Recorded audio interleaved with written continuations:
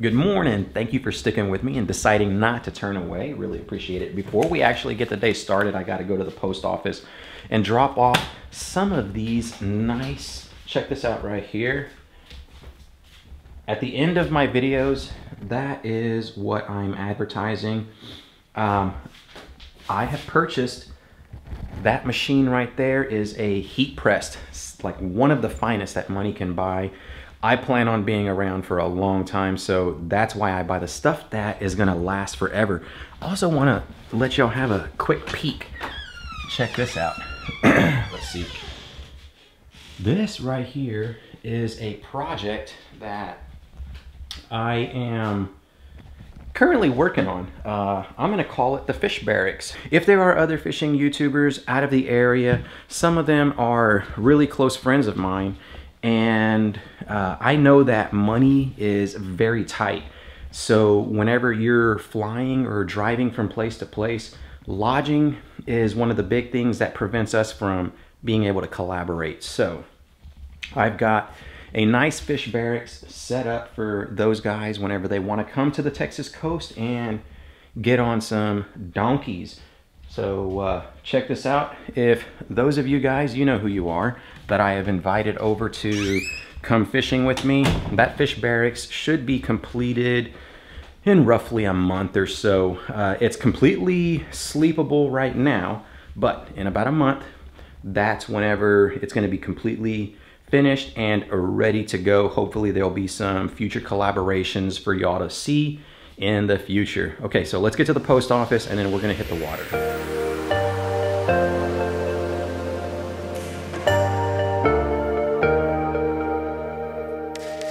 We are slowly but surely losing our access points to public waters and I have a strong suspicion that it's because we don't want to take care of the spots that we have. Uh, what I mean by that is a lot of people just leave their trash and junk.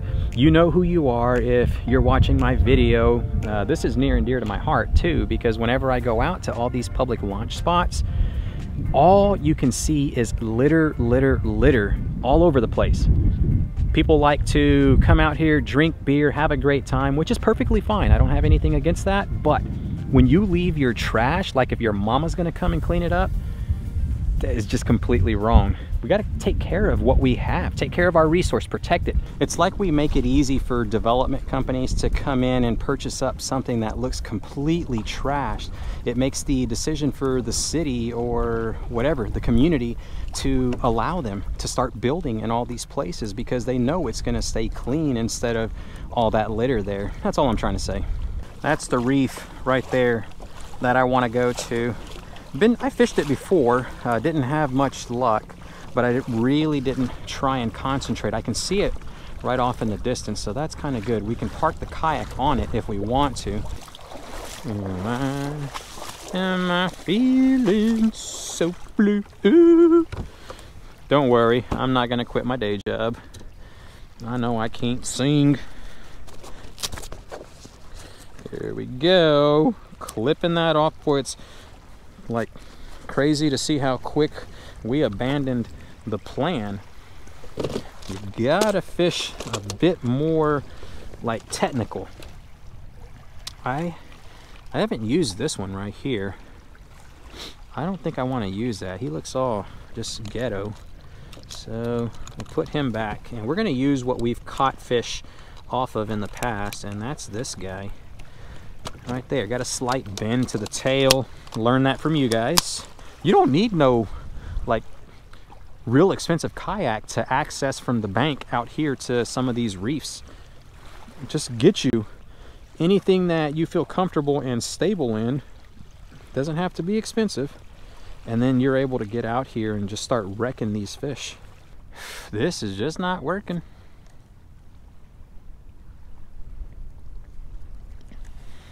let's do this. Let's get out of the inside of the reef and we'll push down a little bit more and uh, try to find some better water to fish. All right, people, I don't know what I'm doing. My goodness. Trying to get a bite. I wish you could pay fish to get a bite. Oh my gosh, look at that. The fluke done went and got himself turned turned into a vegan, converted. Why? Don't do that, buddy. Please don't. Don't turn to a vegan on me. It's nasty to eat vegetables. Kids, don't listen to me. Earmuffs. Come on. It's nasty for flukes to turn into vegans. Uh, eating vegetables is bad. There we go. Come on. Come on. Come on. Come on. Show me some bait. Something.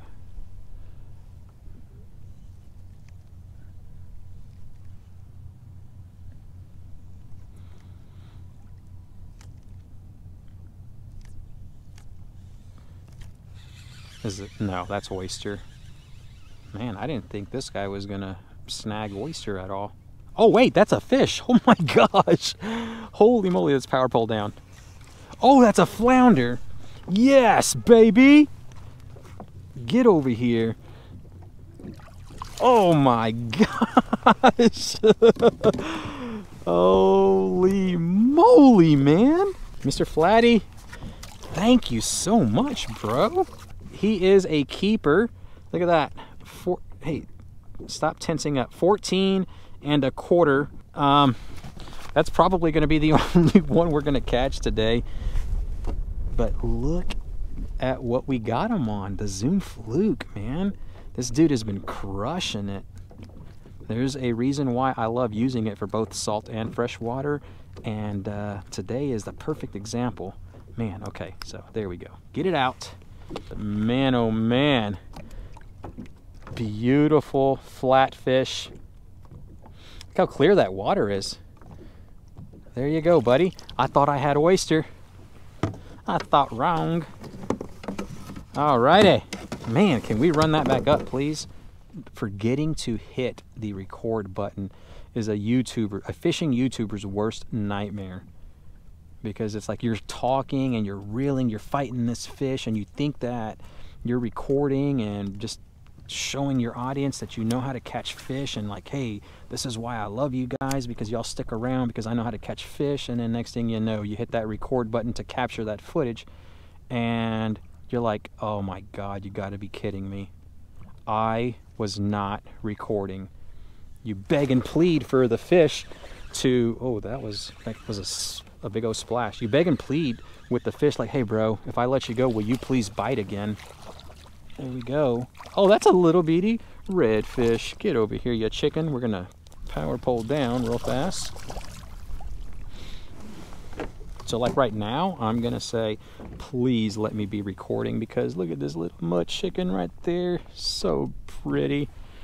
Oh my gosh, I love catching you guys. I don't care how big you are. All right. There we go. Let's uh let's get these forceps, get you off, and then we're gonna send you on your way, little guy. There we go. Look at that. Thank you so much for biting. You are the king of the bay. I don't care what anybody says. You own this, okay? Go back over there to that reef and just continue wrecking it. You gotta love fishing keep that lure in the water. It's a game of numbers. If you don't have your lure in the water, well then you ain't gonna catch fish. There we go. I'm gonna get out and kind of wade for a little bit.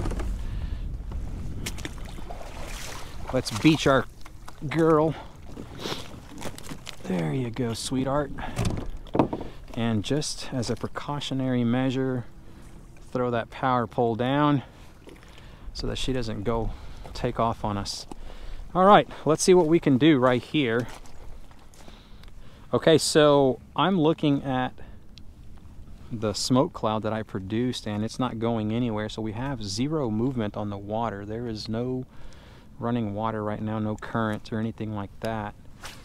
This spot is not going to produce for me. So I'm going to get back inside the boat and just continue drifting with the wind. I am a frozen popsicle, people.